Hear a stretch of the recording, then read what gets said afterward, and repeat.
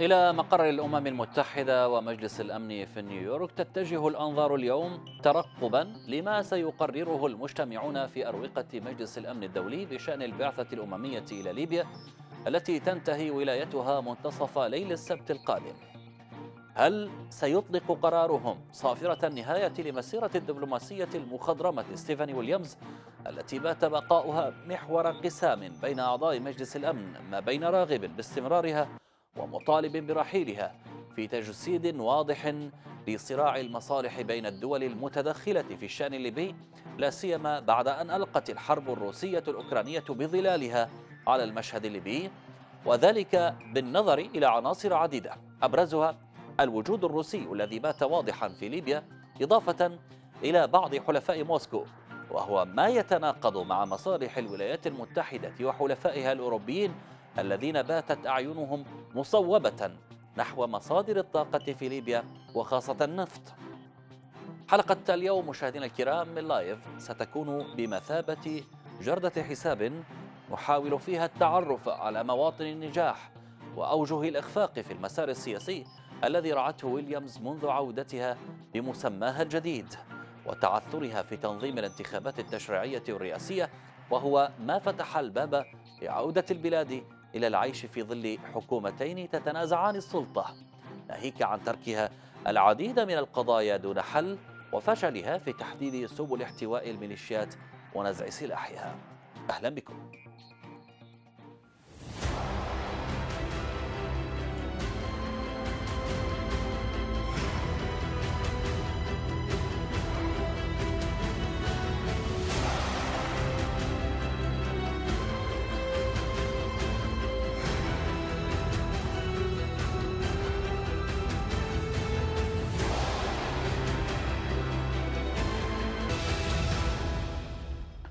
وفي انتظار مخرجات جلسة مجلس الأمن المرتقبة حول تحديد البعثة الأممية أو تمديد مهمتها في ليبيا نتابع مشاهدينا هذا التقرير الذي يفصل الحالة لهذا اليوم في مساحة لايف ونرحب بضيفنا الذي سيكون معنا طيلة هذه المساحة الأستاذ عبد العظيم البشتي المتابع للشأن السياسي لنستفسر معه حول أهمية دور البعثة الأممية في ليبيا وما الذي قدمته خلال هذه السنوات وأيضا مصير العملية السياسية في ظل هذا التناقض والتجاذب الدولي حول آه، المبعوثة أو المستشارة الأممية ستيفاني ويليامز وتحديد مبعوث جديد إلى ليبيا. نتابع هذا التقرير ومن ثم لنا عودة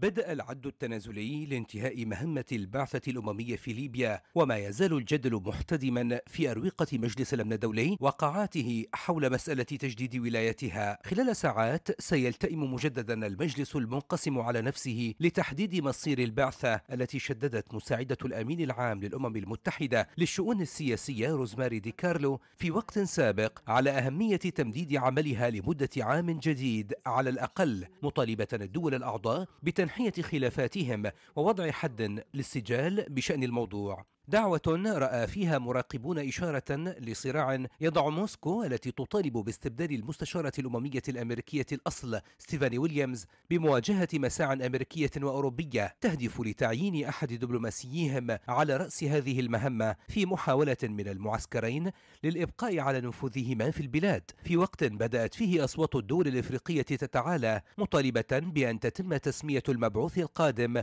من مواطني القارة السمراء. الجدل الدائر في المحفل الدبلوماسي الدولي وجد صداه بين الفرقاء الليبيين الذين تعالت أصوات العديد منهم خلال الآونة الأخيرة للمطالبة برحيل ويليامز بعد تحميلها أسباب الفشل الذي آلت إليه العملية السياسية بفعل مواقفها المنحازة لطرف على حساب الآخر وفقا لوصف الكثيرين. المناهضون لويليامز أشاروا إلى الضبابية التي شابت موقفها بشأن الجهة التي تملك الاعتراف الدولي بعد تسمية البرلمان لفتحي باشاغا رئيسا للحكومة واصطدامه قيامه برفض عبد الحميد دبيبة رئيس الحكومة المنتهية ولايتها بتسليم السلطة. متذرعا باستمرار مهمة حكومته وفقا للاتفاق السياسي الذي رعته المستشارة ويليامز قبل عامين. الاتهامات لويليامز بالفشل نفتها السفيرة الأمريكية لدى الأمم المتحدة ليندا توماس جرينفيلد التي أكدت أن مواطنتها قامت بجهود جبارة منذ انخراطها في الملف الليبي. جرينفيلد التي ستتولى بلادها الرئاسة الدورية لمجلس الأمن مطلع الشهر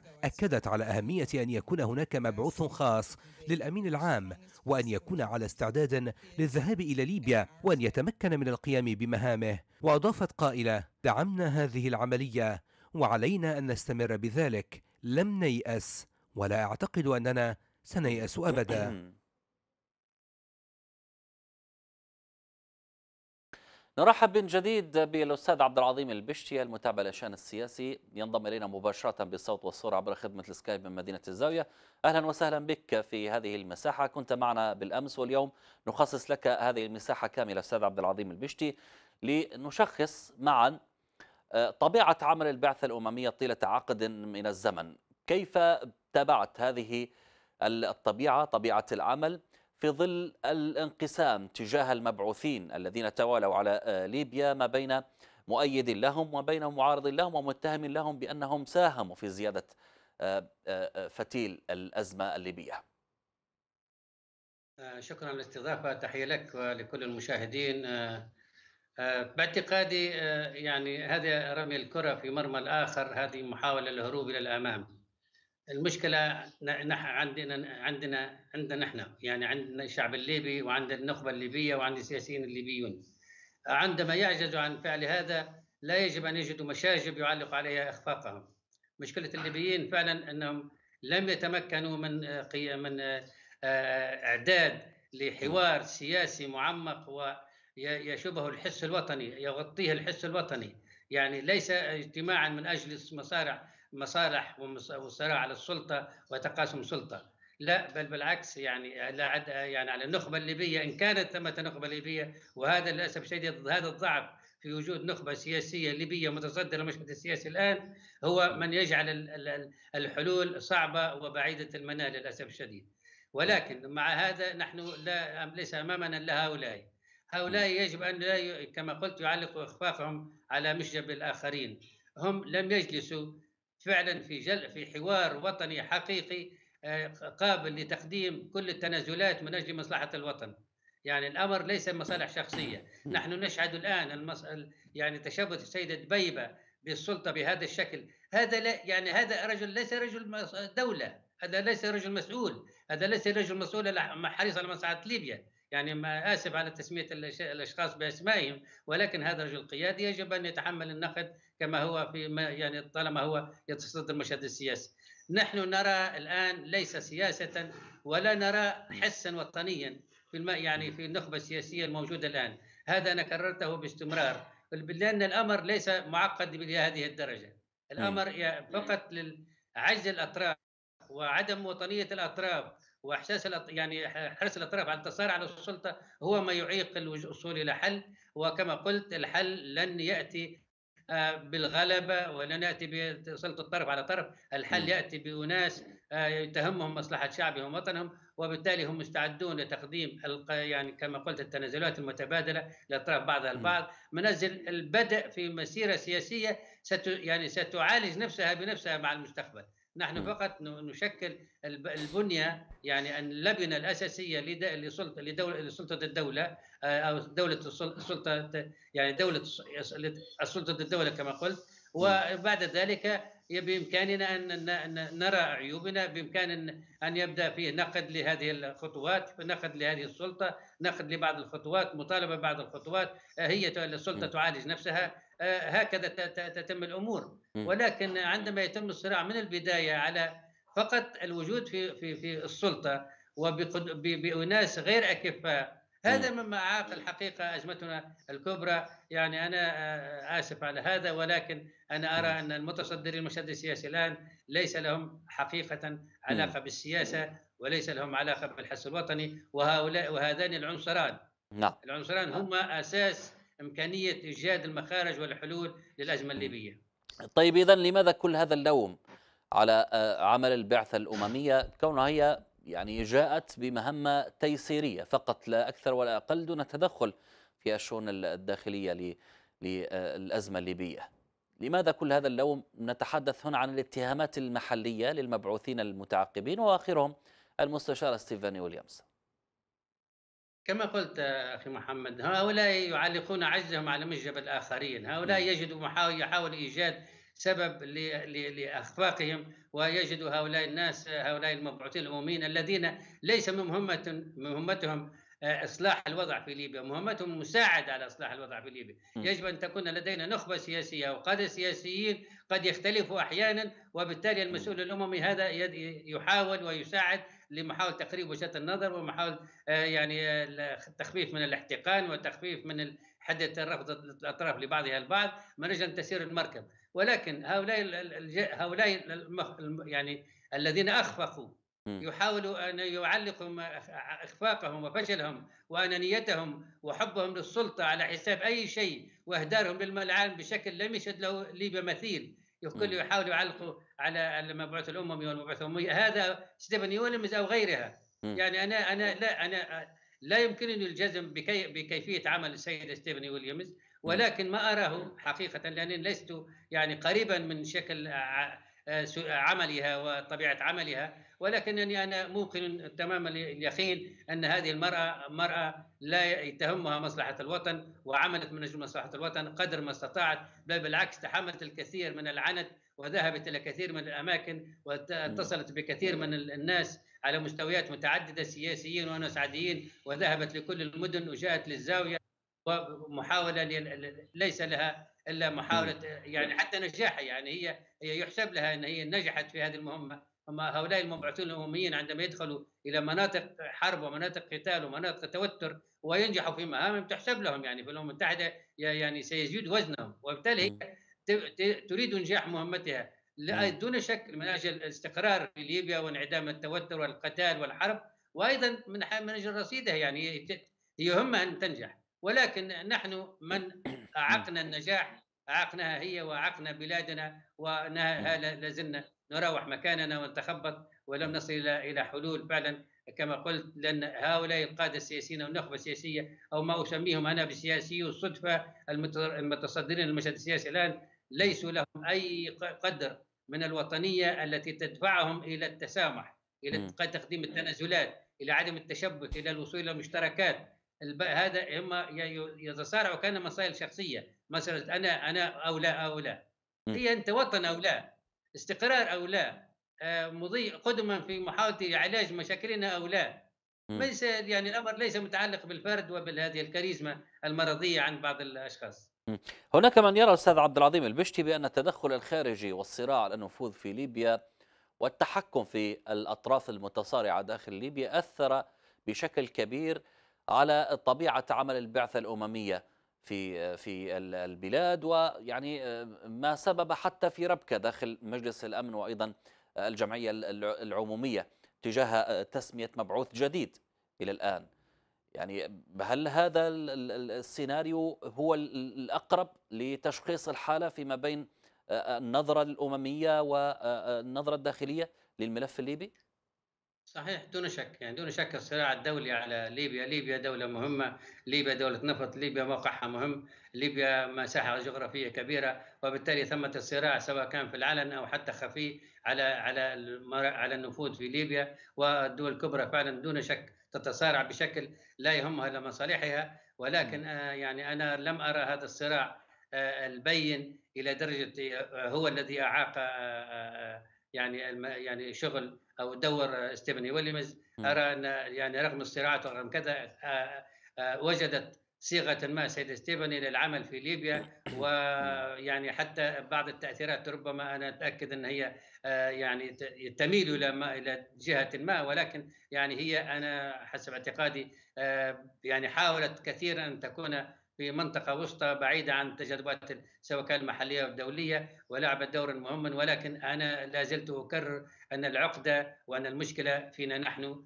في شعبنا بعدم قدرتنا على على تعاطي السياسي الوطني مع كل المبادرات على النخبة السياسية الحاكمة التي ليس لها علاقة لا بالنخبة ولا بالسياسة.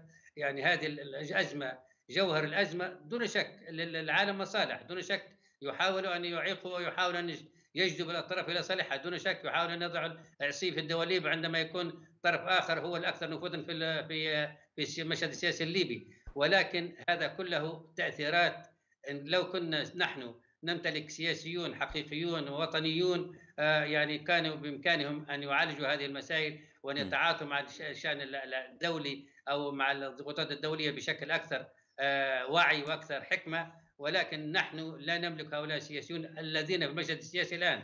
ليبيا مليئة بالسياسيين مليئة بالوطنيين ومليئة بالمثقفين ولكن الذين يتصدرون المشهد السياسي الآن ليس لهم علاقه لا بالسياسة ولا بالثقافة ولا بالوطنية.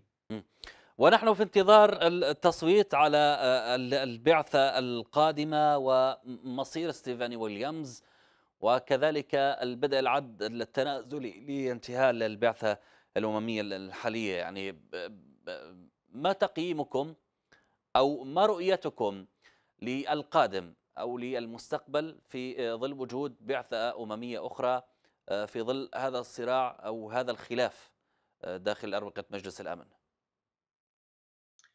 أنا كما أكرر أنني أحيل كل هذا ما يعني المستقبل في يد الليبيين يعني حتى لو جاء مبعوث أممي حتى لو افترضنا أن ستيفاني لم تكن بالكفاءة العالية أو بال يعني بعدم الانحياز أو يعني بالموضوعية التامة. ولكن حتى لو جاء شخص أكثر موضوعية وأكثر حكمة وأكثر حنكة أنا أعتقد الأزمة لا زالت في في الليبيين. يعني عندما الليبيون يساعدون يعني هذا مساعد. يعني هذا ستيفاني أو غيرها يساعدك على كيف تخرج. ولكن إرادة الرغبة الخروج من الأزمة عند الليبيين يجب تكون عند الليبيين. هؤلاء يسهلون لك المهمه ويساعدوك ويدلوك على الطريق الصحيح. ولكن عندما هذا عندما تتوافر النية والرغبة الحقيقية عند الليبيين في الخروج من الأزمة وفي كما قلت التنازلات وفي آه، بناء وطنهم وفي الحرص على تدميره أكثر ما هو مدمر. آه، نحن يعني للأسف الشديد سياسيون لا يبالون بكل ما حدث. يعني هذا الخراب وهذا الدمار العشر سنوات من الدمار والخراب والموت والقتل والبنية التحتية المدمرة ثمة كثيرين لا يروعون يعني لا يعيرون اهتماما حتى كثيرا بهذا. ما يصبح أعينهم هو السلطة والمال والنفوذ وهذا هؤلاء لا تتوافر فيهم حسن الوطني. هناك من يرى بأنهم محكومون أستاذ عبد العظيم البشتي محكومون بأيادي خارجية بتدخلات خارجية إن صح القول هنا. وبالتالي لا يمكن لأي طرف أن يفعل أي شيء تجاه ما يحدث داخل ليبيا. أنا أنا يعني المسألة مسألة تدخل خارجي. يعني أنا أختلف مع هذا الرأي. نعم. التدخل الخارجي يأتي في محاولة أن يكون لدولة ما مصالح أكثر أو نفوذ أكثر في هذا البلد. يعني في أن هي بعض السياسيين تحاول أن تكون يعني في في صالحها تسخر بعض السياسيين أو بعض القادة في ليبيا لصالحها. هذا صحيح. هذا صراع يعني دائم ومستمر. ولكن أن تبقى الدولة بدون مؤسسات، دولة مدمرة بهذا الشكل، دولة بدون آه، يعني استقرار، هذا لا لا يعني يعني لا أي لا توجد دولة في العالم تريد هذا أو تحاول تنفذه عبر آه، يعني أطراف في ليبيا. يعني يعني المجتمع الدولي أو الدول الكبرى ما مصلحتها في دمار ليبيا. هي مصلحتها في وجود دولة تستفيد منها في وجودها في في نفط بنفطها بموقعها الجغرافي يعني أنت يعني ممكن تستفيد منها ولكن ماذا تستفيد الدول الكبرى بدولة مدمرة عندما توحي لأطراف ليبية بأن تدمر بلادهم؟ حتى لو كان هؤلاء فعلا نفذوا هذه هذا هذا هذا الأمر الغريب يعني هذا الأمر العدمي. أنا لا أعتقد أن المجتمع الدولي لديه مصالح يحرص على مصالحه دون شك يحاول أن يجد أطراف في داخل الدولة آه، يعني يعملون لحسابه أو متأثرين به أو يعني أقرب إليه كما يعني هيك من كن القول أقرب إليه. يعني كل واحد من حرص المصالح يرتبط بأطراف داخلية من أجل أن مصالحه هي التي تكون أكثر حضورا في المشهد الاقتصادي أو المشهد السياسي في ليبيا. ولكن لا أرى أن أي دولة من مصلحتها أن تدمر ليبيا وبالتالي أن هي تحرض أشخاص أو تدفع بأشخاص إلى تدمير بلادهم وهذا الضرب العشوائي الذي استمر يعني لكن الا ترى سيد عبد العظيم البشتي بأن المجتمع الدولي رفع يده عن الحالة الليبية مؤخرا بعد الانقسام الحاصل وتسمية رئيس حكومة جديد وتشبث عبد الحميد الدبيبة بالسلطة ولم يفعل أي شيء. فقط قال بأنه يقف على موقف الحياد بالأخص الولايات المتحدة الأمريكية باستثناء واحد فقط. عندما أغلقت الحقول النفطية وجدنا أن هناك موقف أمريكي بات واضح. هو الدعوة إلى إعادة فتح الحقول النفطية وبالتالي هي الرؤية الدولية لليبيا رؤية نفط فقط. هذا ما دون شك يعني. اولا الروس الآن منشغلين بمشاكلهم في أوكرانيا وفعلا حضورهم أو تأثيرهم يعني مع أنهم يعني هذه سياسة دولية ولا يعني لن لن تأخذهم مشكلة أخرى على حساسية وضعهم في ليبيا أو مصالحهم في ليبيا. ولكن يعني أنا أعتقد أن يعني لا الأمريكان ولا الروس يعني يسعوا إلى أن يعني يدفعوا إلى تدمير البلد. يسعوا إلى أن يكون عندهم مناطق نفوذ. يسعوا إلى أن يكون يعني هذه السلطات مواليه لهم. هذا جائز. يعني هذا جائز. يعني حتى بالسياسة الدولية مشروع. يبدا يبقى يبقى بعد ذلك على أساس الوطنيين أن لا يكونون آه، لعبة في أيدي الدول الكبرى. هذه مسألة وطنية مسألة داخلية ولكن مسعى مساعي الدول الكبرى من أجل مصالحها ومن أجل آه، يعني أن تكون السلطات في باقي دولة آه، يعني موالية لها. هذا كان بات الآن كأنه عمل سياسي كأنه دبلوماسي دبلوماسية هكذا. ولكن على الأمر يتوقف على الليبيين وعلى مدى حرصهم على وطنهم وعلى مصالح وطنهم وعلى أن يكون علاقتهم بالمجتمع الدولي متوازنة. آه، لا نحن لسنا في وارد معاداة أحد. من له مصالح في ليبيا بشكل قانوني وبشكل منطقي أهلا به. من يريد أن يساعد ليبيا أهلا به. آه، وهكذا تسير الأمور هكذا هي السياسة.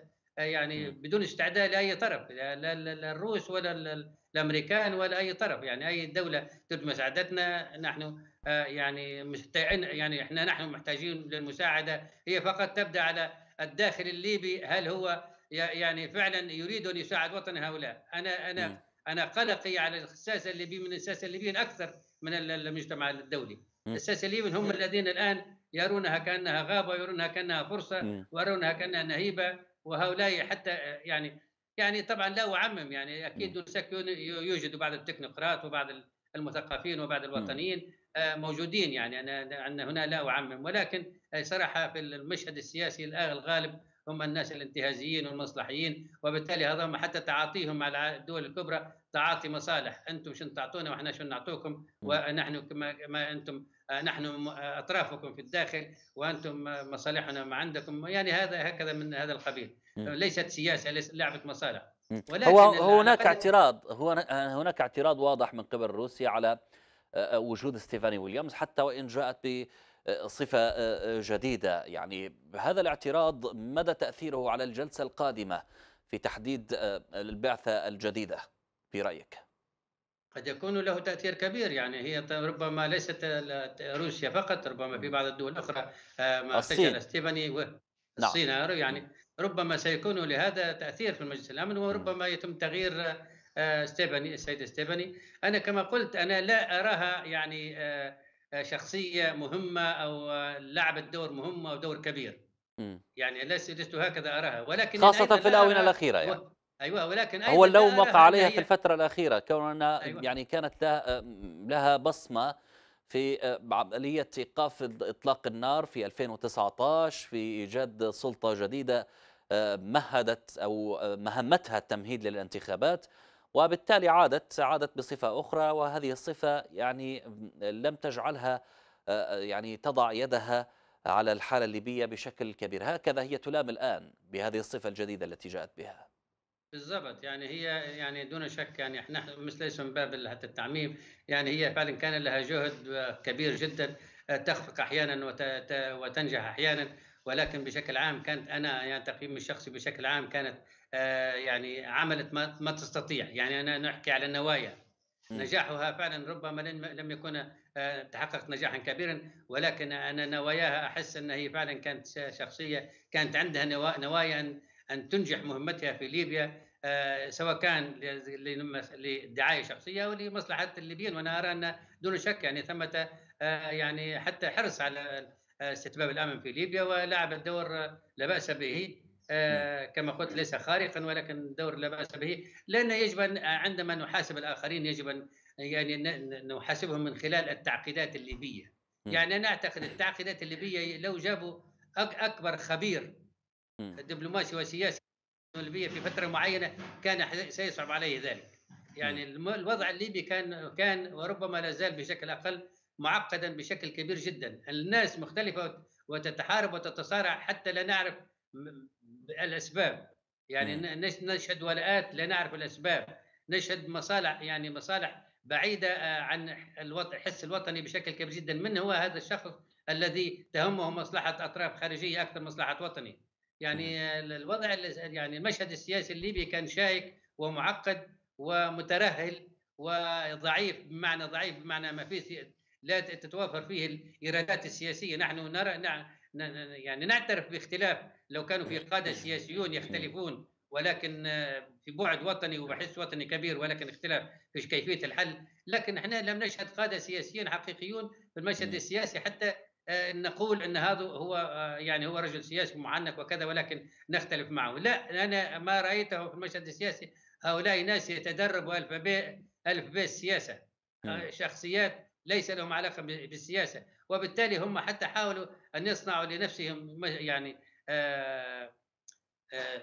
شو بنقول نعم. شو سياسي يعني بمعنى يعني ظهور سياسي ولكنهم حقيقة لم لم ينجح أحد منهم في أن يلعب هذا في أن يكون في هذا المستوى عملية بحث عن الشهرة فقط بالضبط حتى هذا لم ينجحوا فيه هم حاولوا هكذا ولكن حتى هذا لم ينجحوا فيه لأن كما قلت هذا الأمر متعلق بماذا أنجزت؟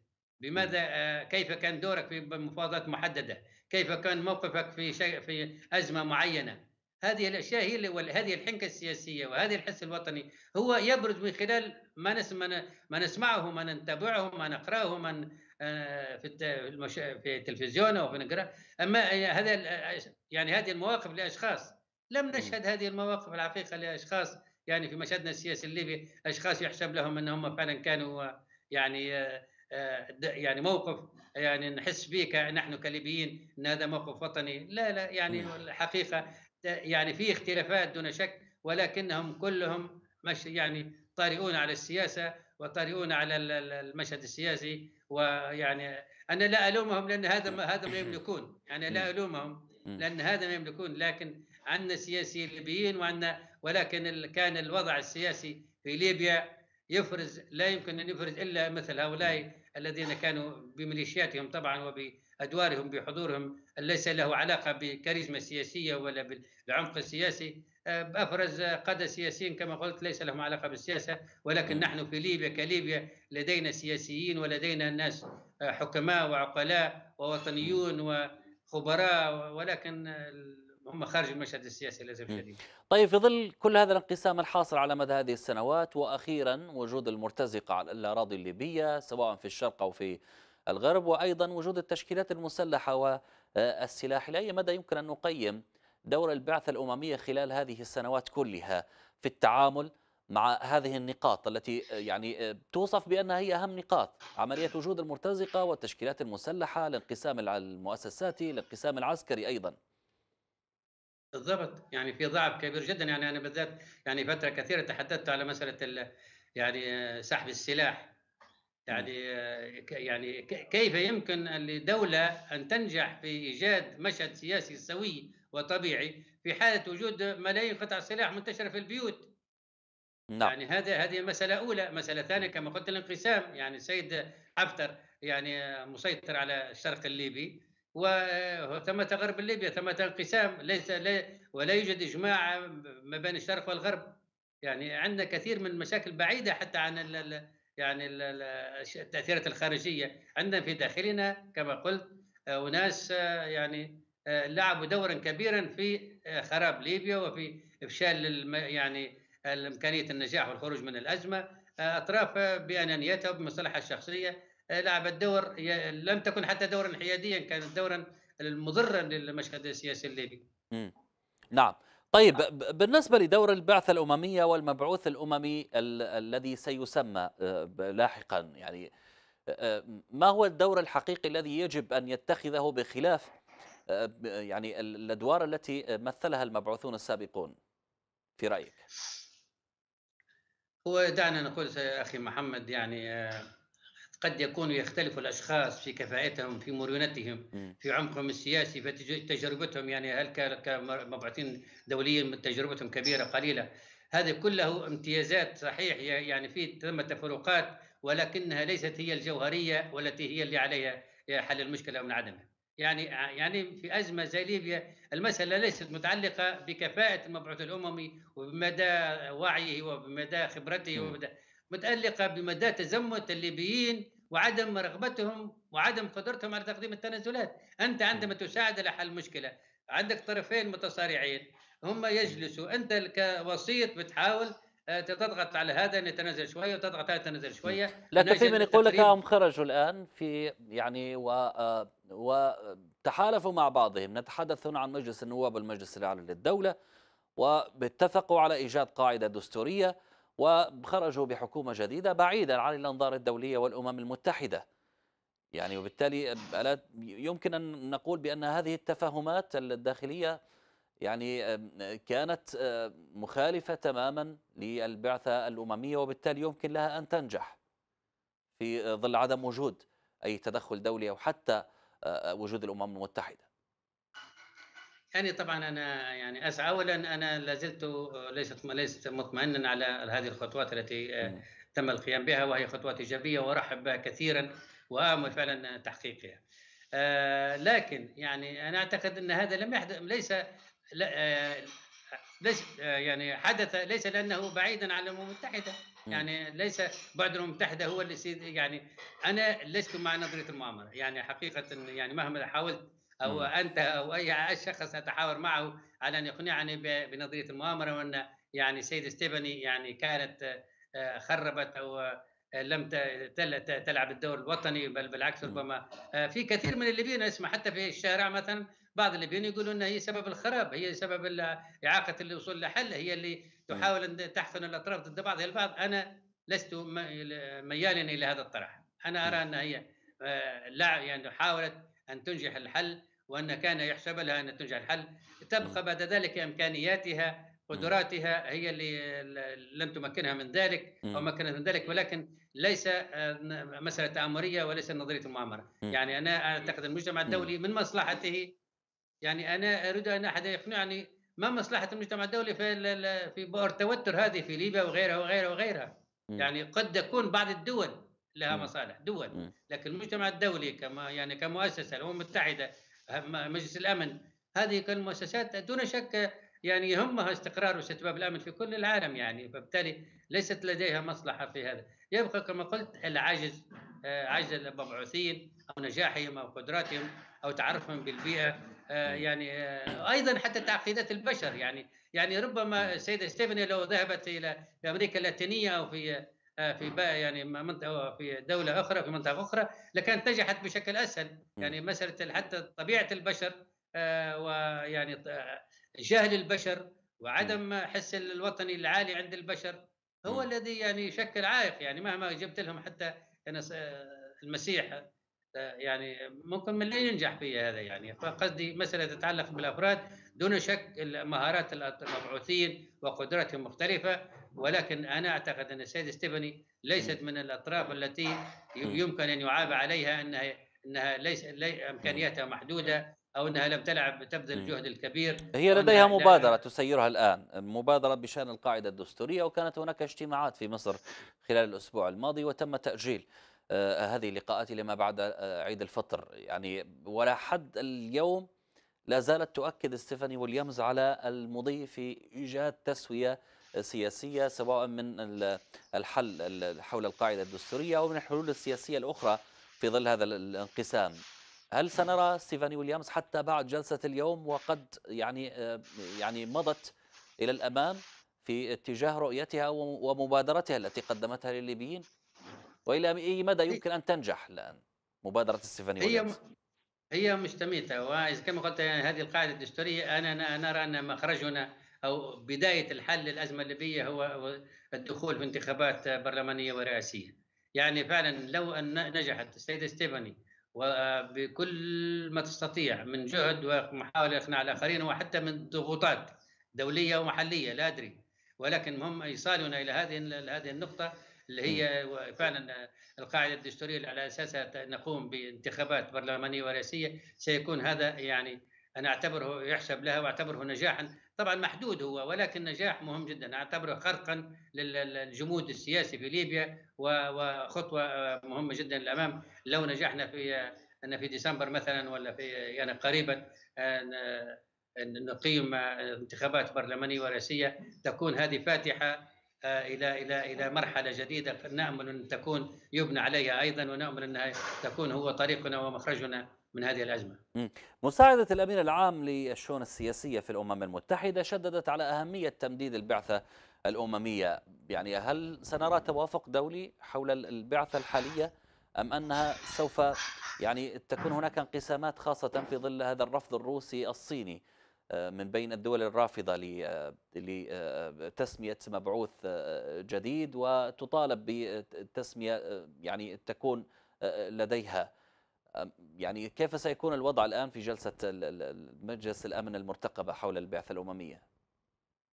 هو طبعا يعني كما قلت يعني الصين وروسيا لو مش عارف هل هذا الأمر يتعلق يتعلق أيضا بحق الفيتو أو لا ولكن يعني أعتقد يعني لن يعني أنا باعتقادي يعني رغم لن يكون مهتمين بجدية لإعاقة ستيفاني. يعني قد يكونوا لا يريدونها قد يكون يقترحونها طرف آخر ولكن لا أعتقد أن الأمر سيمضي إلى إلى إلى مستوى أنهم سي يعني يمنعون هذا بشكل يعني يعني يستخدموا حقهم في حق النقد أو لا أدري مستويات الصراع مستويات القانونيه في في في منظمة الأمم المتحدة. ولكن أعتقد أن هو هذه الإعاقة قد تمر يعني أيضا ربما بتوافقات معينة حتى مع الدول الأخرى يعني.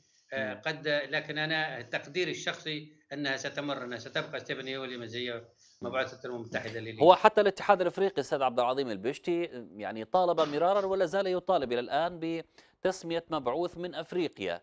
مبعوث اممي يكون من أفريقيا في في ليبيا. لأي مدى يمكن أن تنجح هذه المطالبة من قبل الاتحاد الأفريقي داخل أروقة مجلس الأمن والأمم المتحدة؟